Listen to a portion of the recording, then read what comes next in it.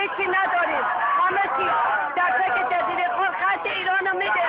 ولی اینجا هیچ امکاناتی وجود نداره. من از تک تک شما خواهم خواست. به عنوان چشم بیدار و ناظر از طرف دولت بر عملکرد مسئولین در جزیره خاک نظارت بکنید. الان به شما عرض می‌کنم. کی میگه اینو؟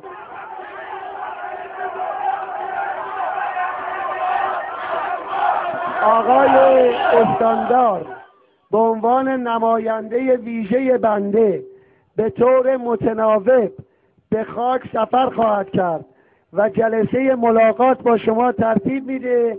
نفر به نفر میاد.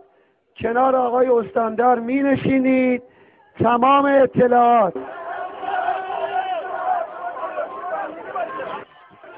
انشالله میاد. نفر به نفر. من از ایشون می‌خوام. در جلسه ای که شما میاد حرف دلتون رو خواهید زد ایشون تصمیم می‌گیره. تصمیم آقای استاندار تصمیم دولت و رئیس جمهور است. چه چی دروغه؟ گذشته ها گذشت.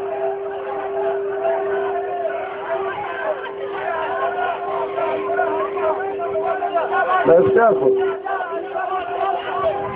خب پس من برم دیگه. برم من گفتی که استاندار به خاک سفر خواهد کرد. چشم چشم. بسیار خوب. دولت